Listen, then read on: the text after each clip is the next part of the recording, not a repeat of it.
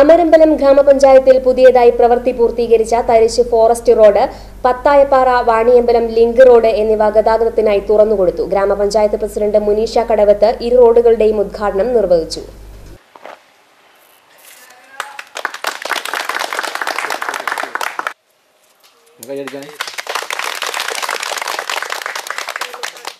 തരിശ് forest road രണ്ട് ലക്ഷം രൂപ ചിലവിൽ തൊഴിലുറപ്പ് പദ്ധതി ഫണ്ടും ഗ്രാമപഞ്ചായത്ത് ഫണ്ടായ മൂന്ന് ലക്ഷം രൂപയും ഉപയോഗിച്ചാണ് കോൺക്രീറ്റ് ടാറിംഗ് പ്രവർത്തികൾ നടത്തിയത്.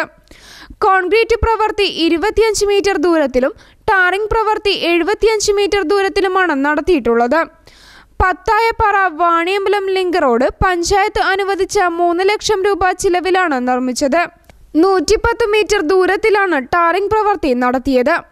ഇരു റോഡുകളുടെയും ഉദ്ഘാടന ചടങ്ങിൽ പ്രദേശവാസികളായ K V Narayanan Mohanakrishnan Vineesh Kannan Satheesan Neelodi K K Surendran Kuttimal P Usha Nasar Surendran Kunhi Muhammad Pappachan തുടങ്ങിയവർ സംസാരിച്ചു.